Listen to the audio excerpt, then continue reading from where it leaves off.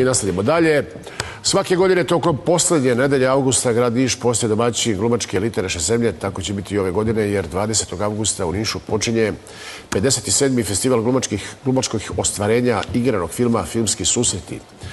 A među filmima koji će biti prikazani na tom festivalu je i deči film Vučije Bobice, je li tako? Nisam pogrešio. Naši gosti su glumci ovog filma Jelica Kovačević, Rastko Janković, kao i kreativni producent filma Ivan Jegorović. Dobro jutro, dobrodošli u naše novi dobro. Evo još malo prostora za... Bolje vas našli. Bolje vas našli, to volim da čujem uvijek, da. Bolje se uvijek našli, je li tako? Tako je. Deči film, vrlo zanimljivo, je li tako? Pa nekako ta kinematografija dečija nije bila nije bila toliko zastupljena posljednjih godina. Jelice, krećemo od dame, izvolite. Otvorim, hvala najljepše.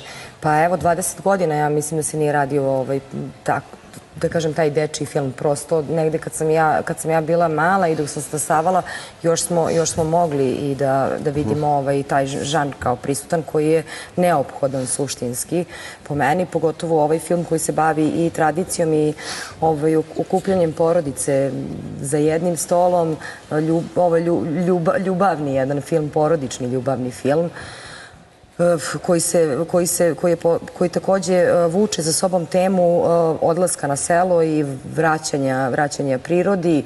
Tu su i bake, i deke, i mame, i mama, i tata. Tako da mislim da je jako, jako značajan jer prosto nosi sve te motive u sebi da da je bilo zaista neophodno uraditi ovaj, ovakav film i baviti se ovim žanrom. Ti se nesveš da si bila dete, sad kad si porasla, kako je da uviš u nečem filmu? Ne, ne, ja kažem, ja kažem, tada je, tada je bilo ovaj, e, takvog sadržaja, sada ga prosto nema. Ima par filmova koji su možda otvorili te, te teme i vratili se tom nekom žanru koji nije zastupljen. Jedan od tih je i Vučije, Vučije Bobice. Dobro. Kako ste Da, kažu dečji film za roditelje. Dečji film za roditelje je lepo rečeno, to je, ali... To su smislili oni i to, to mi se dopalo. Dobro. Zaista je dobro rečeno. Dečji mhm. film za roditelje. Pa ja, mnogo mi možemo naučiti od te dece, ali danas je, ajde kažemo, ovo nešto je ovo vraćanje prirodi, što ona kaže i ajde da bar igraju više futbala nego svi su na mobilnim telefonima, tabletima, čudima, po čitav dan neke igrice, tako, softveri, hardveri, čovjek da poludio tih svih termina. A mi smo nosto bili na, na ovaj, biciklu, recimo, ili pa, na sportskom ne. terenu, ili gde god u bazenu. Ali dobro... Ja samo znam da sam bio od, od te tehnike daljinski upravljač. Druga. dobro, i to je u redu, i to je u redu. Ali dobro, mi, mi smo drugačiji, ali ovde se skreće pažnje, naravno, na od vršnjačkog nasilja, što je vrlo važno da se, da se obrati čak u jednom segmentu. porodica kao stub ovaj, društva, sve potiče iz porodice odnos to dvoje mlade TC klinaca i, ovaj, i heroina koja, koja se pojavlja, ona je zaista heroina u, u filmu i sve to kada se veže, naravno tu je i, sada govorimo o ekologiji, naravno da se bavimo svi povratku na selu, kome to pripada i ko to želi. E pa bit će tu sad, možemo reći, i onih koji im ne pripada, ali kad pohrla, je li tako, ako zima bude duga i hladna. Pa dobro, ja sam odrastao u gradu, ali volim selo.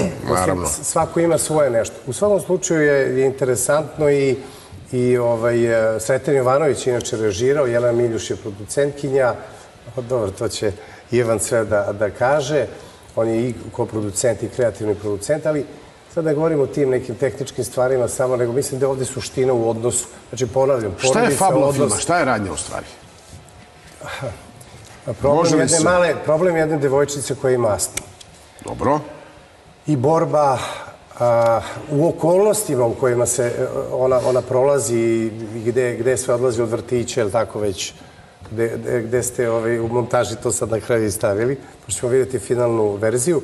Odnos u porodici, to je osnova. Mislim da je to stup jel, cele priče i, i njenog, naravno, rođenog brata koji to sve posmatra, koji je stariji od nje nekoliko godina,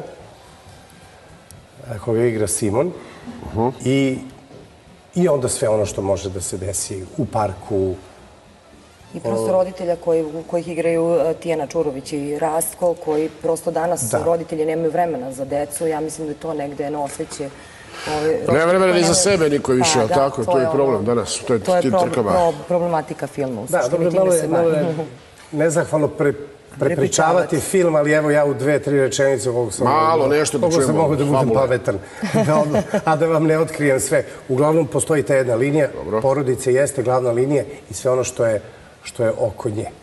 Izvolite. E,